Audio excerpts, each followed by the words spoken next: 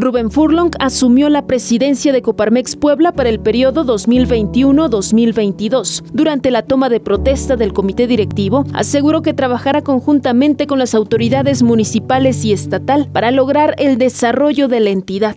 Hoy reconozco la estabilidad que predomina en nuestro estado, el control de la inflación estatal y celebro la voluntad que tiene para la reactivación económica, el diseño y la implementación de campañas como Que Reviva Puebla y la puesta en marcha del Centro de Innovación, Emprendimiento y Negocios 100, que deberán contribuir a darle la vuelta a la situación que estamos viviendo.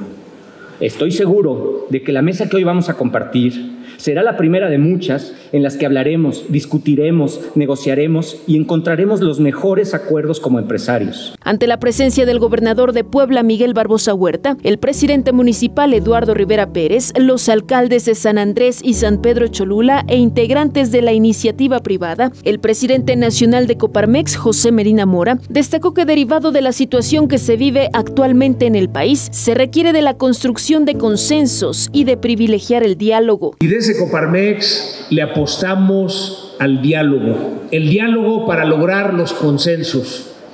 Señor gobernador, nuestro compromiso para abrir el diálogo, un diálogo con respeto, que permita encontrar precisamente las soluciones a estos grandes desafíos que tenemos. En su intervención, el gobernador de Puebla, Miguel Barbosa Huerta, aseguró que busca tener diálogo con los organismos empresariales y extendió la mano para trabajar coordinadamente con la iniciativa privada. Hay una recuperación de empleos muy alta, alrededor de 2.500 al mes.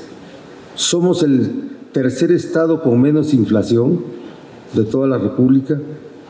Y hay formas muy eh, pensadas, cuidadosas de la relación del gobierno con todos los segmentos de la población. Y ustedes, los empresarios, sin duda, tienen un lugar predominante.